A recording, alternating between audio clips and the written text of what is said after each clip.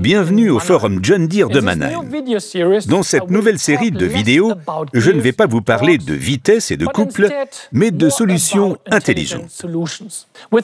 Des experts vont m'aider à vous présenter les technologies d'agriculture de précision John Deere.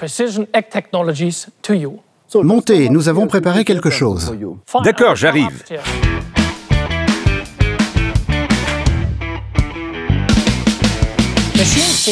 Machine 5 crée un réseau sans fil entre deux machines.